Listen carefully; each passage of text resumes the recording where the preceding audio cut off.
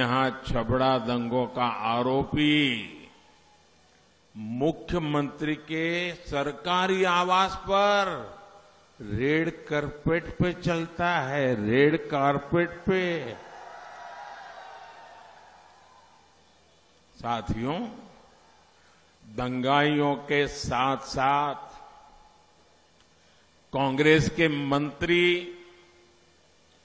बहनों, बेटियों पर अत्याचार करने वालों के साथ भी मजबूती से खड़े रहते हैं।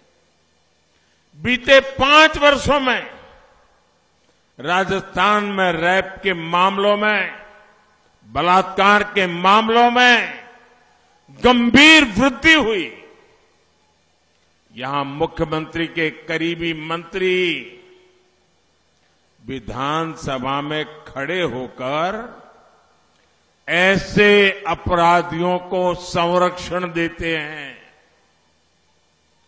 जब हमारी राजस्थान की बेटियाँ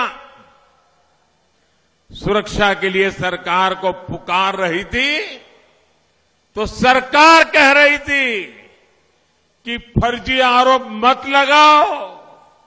ये कांग्रेस वालों को राजस्थान की बेटियों के आँसू देखने की भी फुर्सत नहीं है। आप मुझे बताइए मेरे राजस्थान के भाई बहनों क्या हमारे देश में ऐसे संस्कार है? क्या राजस्थान में ऐसे संस्कार है क्या?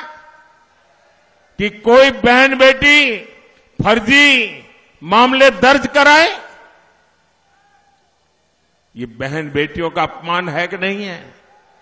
हमारे संस्कार का अपमान है कि नहीं है? हमारे माताओं के सम्मान पर चोट है कि नहीं है? ये कैसी भाषा बोल रहे हो रे, जो कांग्रेस सरकार जान, माल और सम्मान की सुरक्षा तक नहीं कर सकती, उस सरकार को रहने का हक है क्या?